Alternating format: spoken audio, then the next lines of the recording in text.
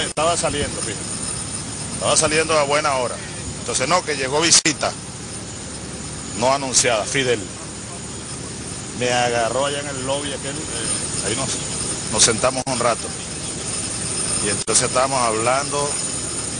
Ah, estábamos hablando, no sé por qué caímos en unos poemas. Yo le entré a poemas, pues. Entré a poemas primero. Andrés Eloy Blanco, ¿no? Andrés Eloy Blanco. Después César Rengifo. Después hasta Luis Alberto Crespo. Salió de mi repertorio, pues. Porque no sé por qué estamos hablando del ardimiento. ¿eh? Del arder, ¿no? Del arder. Entonces yo le recordaba a un poema de Andrés Eloy dedicado a Bolívar. Es bellísimo. Por aquí pasó. No, Andrés Eloy no, corrijo. Alberto Arbelo Torrealba también salió. Ese fue el primero. Por aquí pasó, compadre, hacia aquellos montes lejos.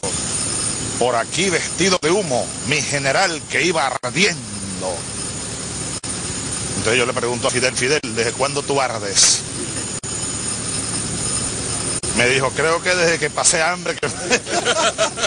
Entonces empezó a echarme el cuento otra vez de cuando él lo mandaron a estudiar no sé dónde, que pasaba hambre y no sé qué más.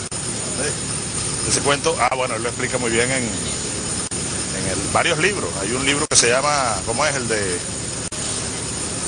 el 100 horas con pero hay otro de, de Katiuska, de Katiuska Blanco.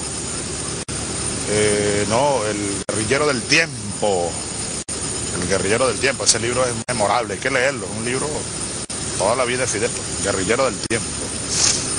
Entonces nos entramos a, y me dice, ¿y tú desde cuándo ardes? Desde que era el arañero sabanero. y, y, entonces, sí, porque es un ardimiento, ¿no? Un ardimiento. Y entonces dice Fidel, y nunca se apaga, Chávez.